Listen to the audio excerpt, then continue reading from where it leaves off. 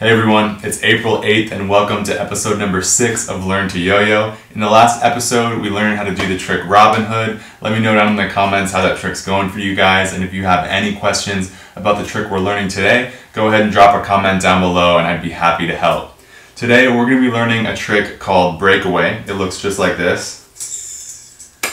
And the breakaway is the foundation for so many different yo-yo tricks out there and it's actually a different type of throw. So just like we learned how to do the sleeper, which is a regular throw, then we learned the forward pass, which is a forward throw.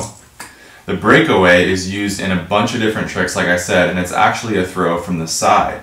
So instead of the yo-yo spinning in front of us, pointing this way, it's going to be spinning in front of us, actually pointed to the sides of us. So the way we're going to do that is instead of throwing the yo-yo straight down in front of us this way, what we're going to do is keep our arm in the same position. So of course the yo-yo is set up on our hand the same way that we've learned in the last few episodes. But what we're going to do from here is actually turn our arm out this way.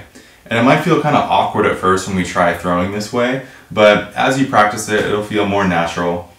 And what we're going to do is try to get our hand in a comfortable position. We want to kind of try to stay loose, just like with the other tricks. If we're really stiff and we try to throw all crooked and stiff, it's not going to work very well. So what we want to do is loosen up, hold the yo-yo straight out, out here to the side, and then we want to watch the yo-yo and make sure that as we're looking at it, it's, it's pointed straight out that way. So that way, when we go to throw it, it comes out of our hand straight, like this, and then you can see right here, it's spinning with the face of the yo-yo pointed in front of us.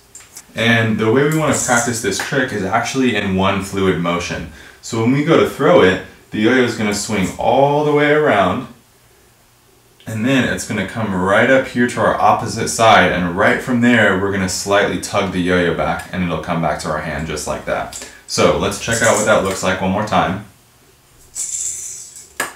And as you're practicing that, you might find that it's also kind of difficult to get the yo-yo to swing all the way up to here and you might kind of throw it straight toward the ground. And so what we can do to kind of fix that or to help us get the swing going is if we throw a little bit out to our side. So I don't mean throwing like way out like this, but just instead of throwing straight down, you can kind of throw it out a little bit. So it would look more like that, right? And that was pretty exaggerated. I don't recommend throwing it out that far, but if you are having that issue where it's just throwing straight down, you can try throwing it out a little bit and that's going to help you get that swing. And then as you practice you're going to find a really comfortable natural angle to throw it from. And as we're practicing you might run into a couple issues one of which would look something like this where the yo-yo again like we probably learned in the sleeper is kind of tilted like this right so not only do we want the yo-yo to be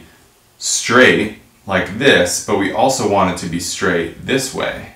So it has to be both ways. So when we're throwing, we want to make sure to keep our hand not tilted forward this way or tilted back this way. So from this side it would look like this. We don't want it to be here or here. We want to make sure it's straight. But then also we don't want to throw this way or this way. So what I mean by that is when we go to throw, if we throw from here and the yo-yo is not straight out to our side, then the way that's going to look is this. And then what happens is we're not going to be able to finish the trick, so I'll turn this way so you can see what would happen there. But if we throw that way where the yo-yo's moved forward, that front side of the yo-yo is pointed in front of us instead of straight like this, the way that's going to look is this. And then we're not going to be able to catch the yo-yo.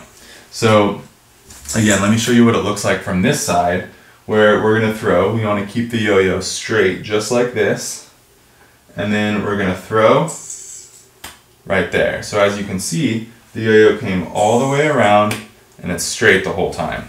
Now, it is pretty difficult to get the yo-yo to be perfectly straight. So like I said, it does take a lot of practice, but one thing that helps a ton with this trick is if you can find a line somewhere on the ground to stand in front of.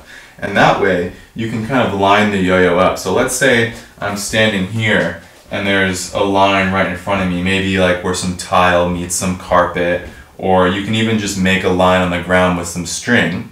And what you're going to do is line the yo-yo up with that line. So that way when you're throwing, you can see that it lines up with whatever you're standing in front of. And your goal is when you throw it to get the yo-yo to line right up with that. Just like that. So as you practice it, again, you might find that you have this line in front of you, and when you go to throw and your yo-yo is spinning, oh, it doesn't line up with there. Let's try it again.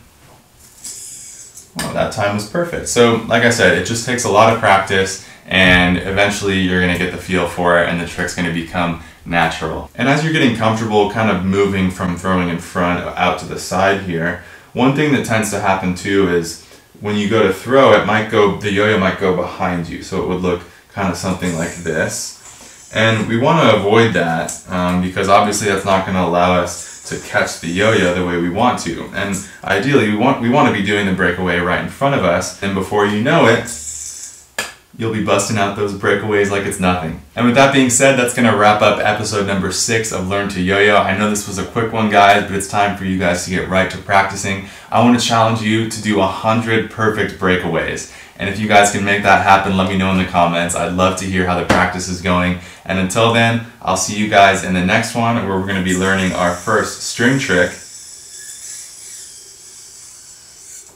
the elevator. I'll see you guys then.